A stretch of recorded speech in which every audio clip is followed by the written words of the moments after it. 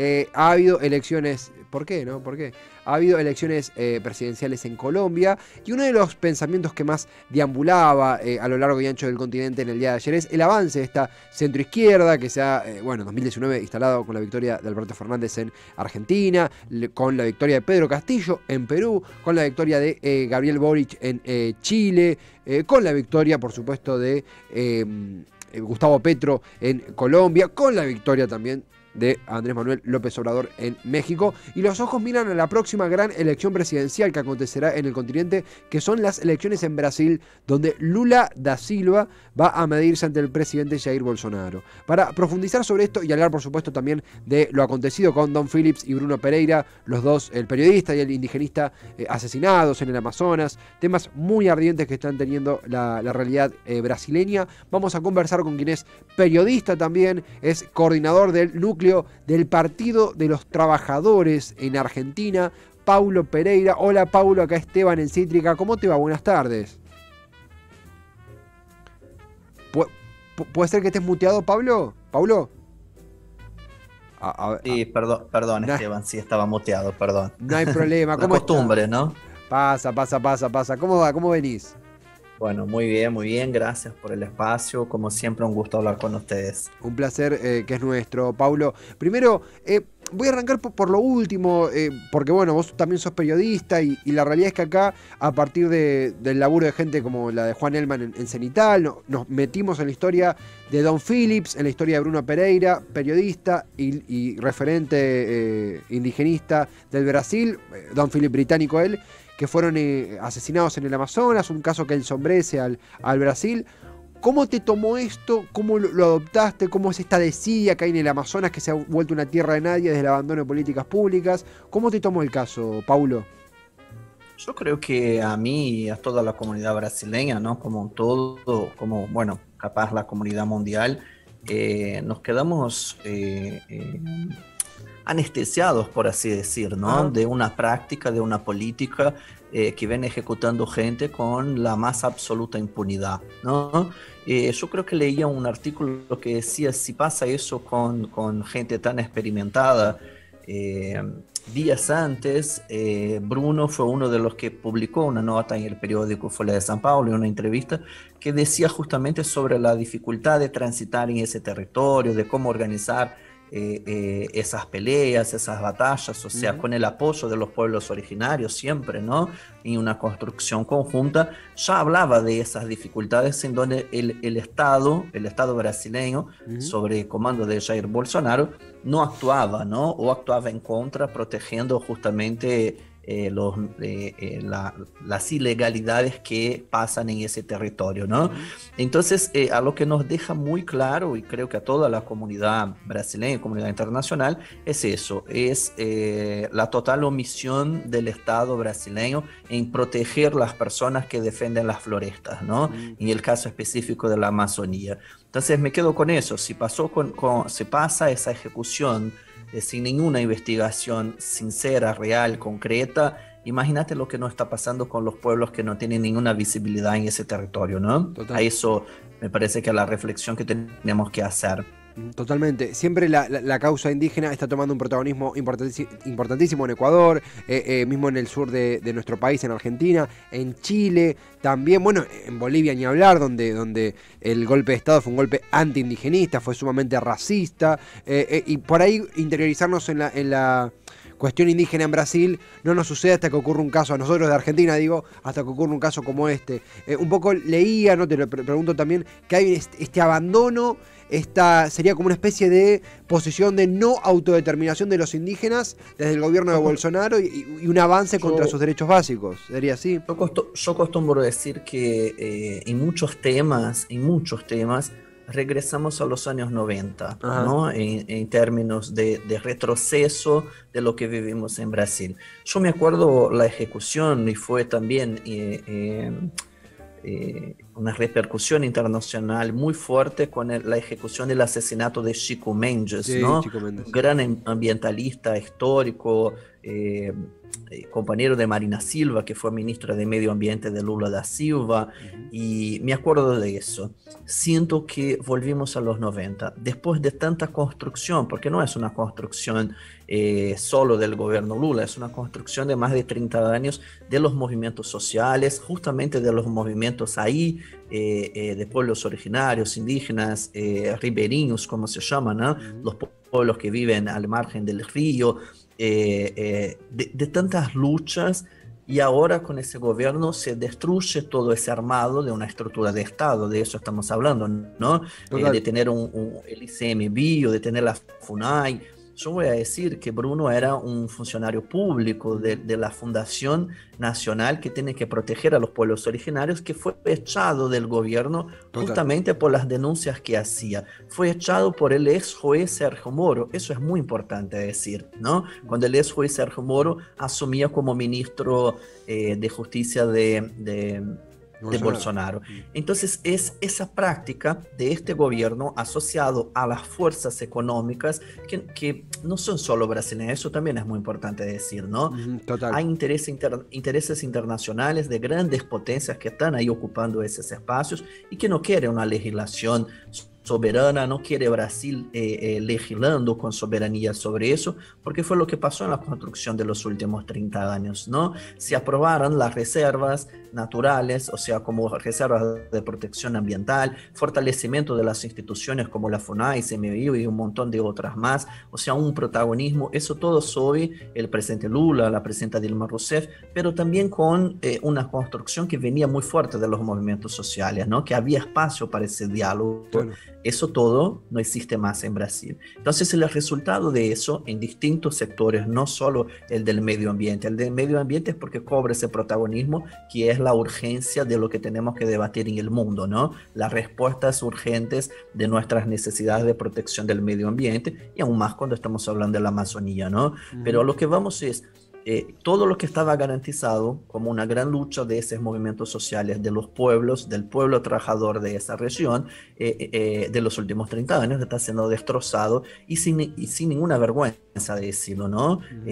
Bolsonaro, cuando electo, hablaba claramente sobre eso, que, que, que, que había que explotar eh, la región de la Amazonía y hay que abrir ese, espacio para la minería, para la extracción del petróleo, para todo eso, ¿no? Bolsonaro no tiene ese discurso de destrucción del medio ambiente y de todo lo demás porque solamente es un tipo asqueroso de la ultraderecha. Eso también, pero es porque está protegido por los intereses del financismo internacional que tiene sus garras ahí en la Amazonía y en toda esa región, ¿no? Bueno, en Latinoamérica, en nuestras reservas, ¿no? Sí, sí, si miramos a Bolivia con su reforma del litio, miramos a México y hablamos de Argentina y todo lo demás, o sea, sabemos los intereses que están por detrás de eso, ¿no?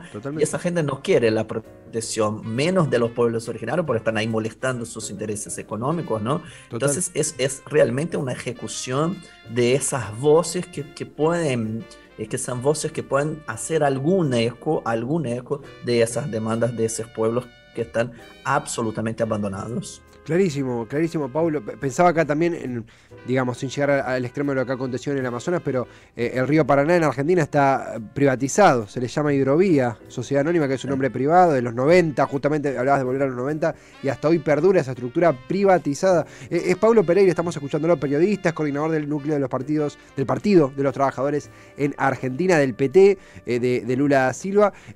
Paulo, es clarísimo cómo lo describiste, es, es no solo porque sos militante, también sos periodista y a los que nos gusta comunicar las tragedias, los asesinatos como los de Don Philip nos, nos pegan de una manera muy diferente, como también el de Bruno Pereira, por supuesto.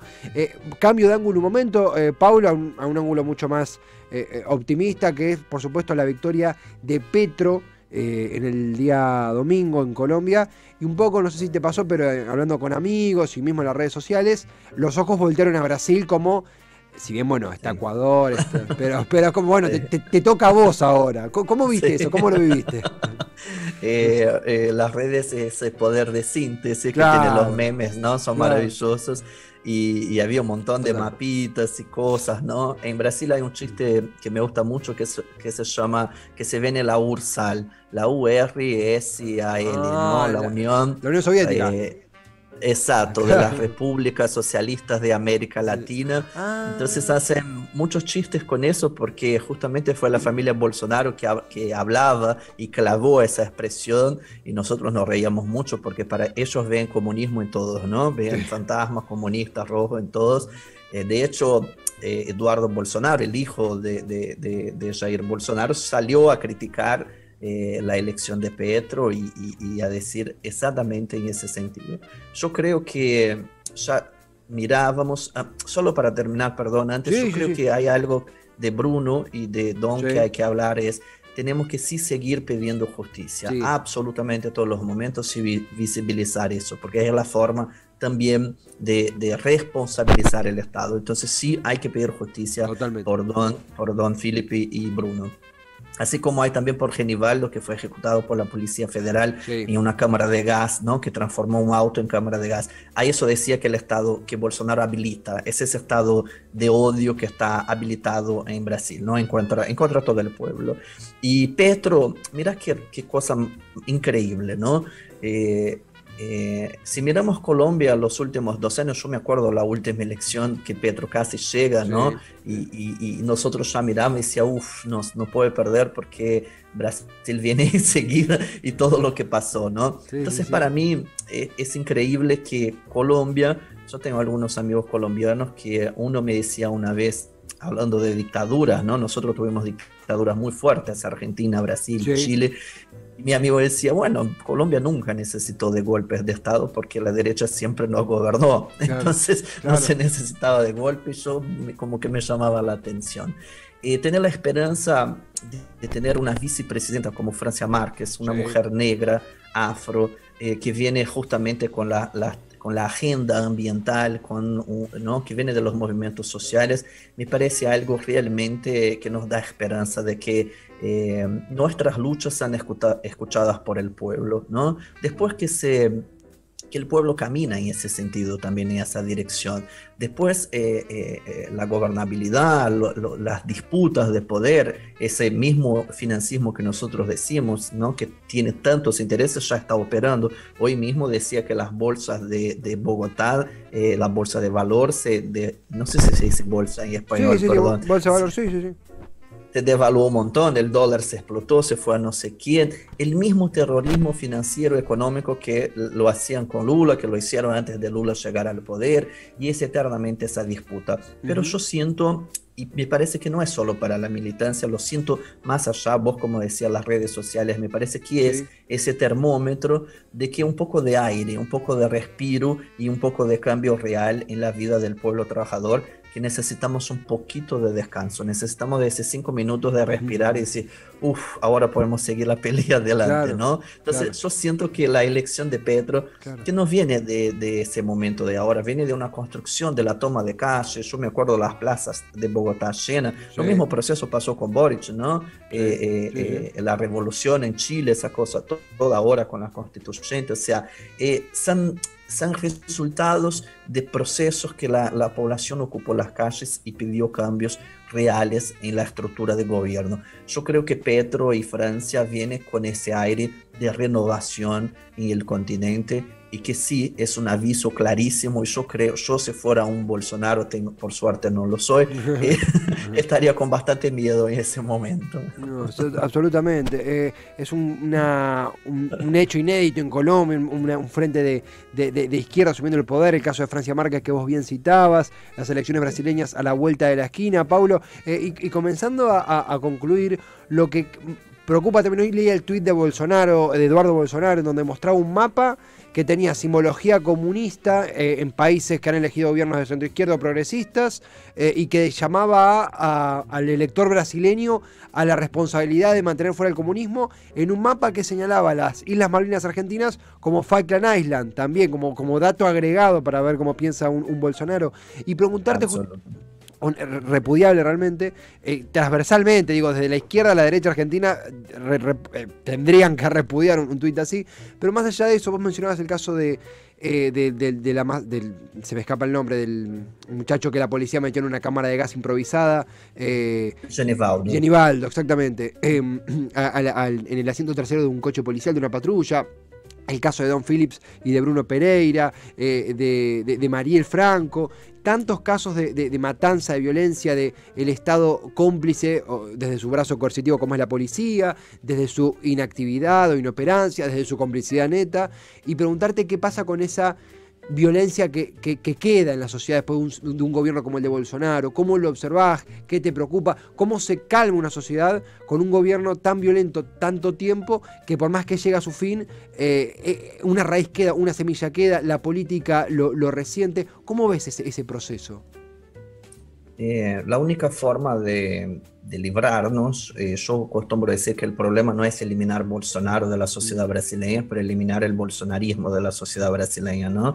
Un total desconocimiento de, cómo funciona el Estado, de cómo funcionan las estructuras, para quién el Estado debe estar, para quién debe servir, ¿no? ¿Qué, pueblo? Y no las élites como lo viene haciendo claramente, ¿no? Para mí, y creo que vengo de la escuela de Lula, ¿no? Entonces eh, lo escucho y, lo replico porque creo en eso. Solamente con más democracia, solamente con más participación y que una gran participación de la sociedad organizada, ¿no? Yo creo que hay que haber cada vez más eh, fortalecimiento de los movimientos sociales, de las organizaciones de, de, protección y defensa de los derechos humanos, del medio ambiente, de... No es, mira que no es gratuito, ¿no? Que la agenda, la agenda de la ultraderecha, por lo menos en nuestra región, es la eliminación justamente de, esas conquistas que nosotros en Brasil decimos civilizatorias, ¿no?